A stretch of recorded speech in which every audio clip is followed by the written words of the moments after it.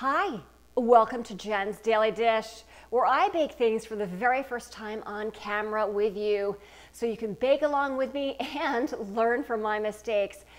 And I'm also making this recipe for the very first time, so let's make some amazing flourless brownies. That's right, no flour. In fact, there's no butter in here either. So, are these nutritious? They just might be. They do have a lot of black beans in them. Yes, black beans. The black beans kind of replace the flour with their starchiness. Will these be great? Let's find out. I'm also making them because I get to come up with these fun lyrics. I call into question all that beans can do. Got a bad reputation, you so know they do. But today is the day, gonna bake them this way. Making brownies, beans, and chocolate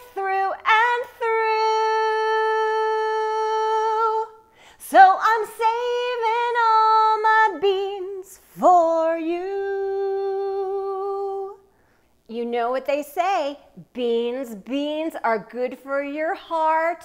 The sooner we make brownies, well, let's get a start. First things first, preheat your oven to 350 degrees. The second thing that you want to do is to get your square pan or other pan ready to go, either 8 by 8, 9 by 9, 10 by 10. The recipe calls for 9 by 9.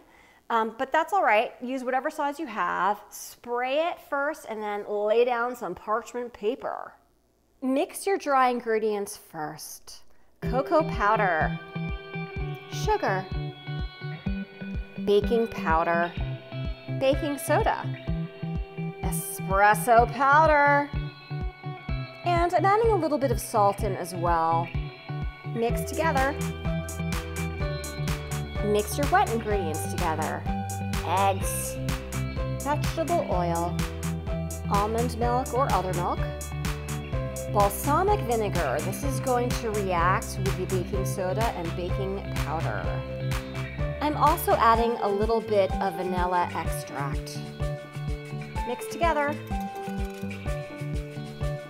In a blender or food processor, mix your beans.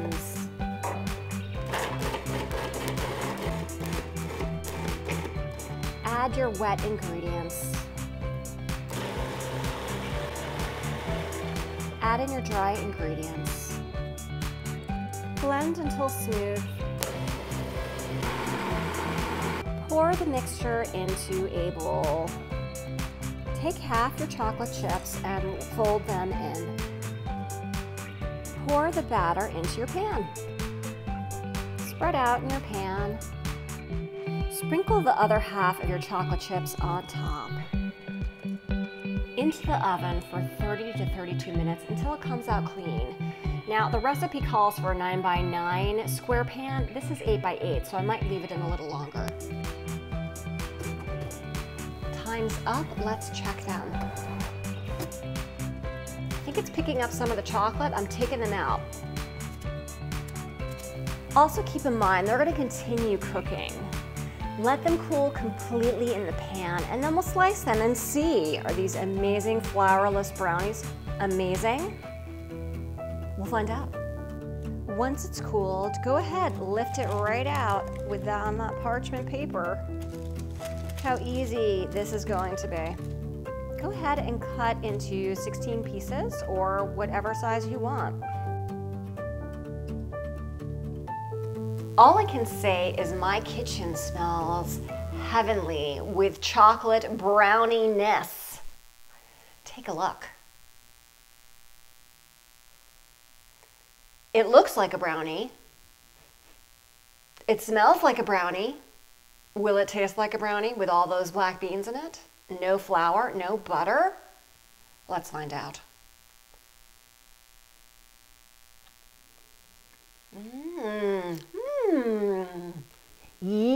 Yum. I think If you didn't know that there were black beans in this, well, you wouldn't know, obviously, but you also wouldn't taste them. I think this could be an excellent flourless, more nutritious, less sugar, less butter, everything recipe across the board. There's protein in these brownies with those black beans. There's fiber in here with the black beans. So they really are kind of nutritious. You could certainly feel better about eating this brownie than you could any other brownie, pretty much. Yum, these are delicious. I'm gonna start making these on repeat. If I can make these amazing flourless black bean, no butter brownies for the very first time with you watching me every step of the way, you can too.